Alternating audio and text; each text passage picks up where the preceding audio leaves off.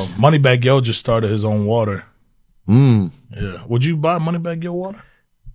That's hard for you because it's a black guy on the water. No, I drink water at a black kid's house. Fuck off.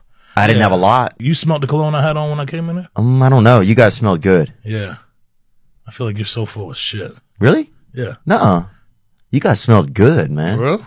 Yeah. what do we dude. smell like when we walk in? Honestly, I usually think it's de- like a lot of deodorant. Wow.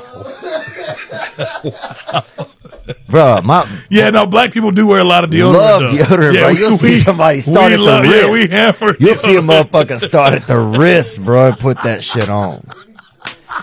We actually did indulge in deodorant before we got here. Oh yeah, bro. Yeah. Maybe a graham cracker or something. Mm. I love them bitches, Yeah, though. yeah, yeah, yeah. I'll lay on your fucking bed and eat them bitches, son. I Yeah, don't you care. ain't lying, dog. though. You ain't lying. I don't care, You ain't dog.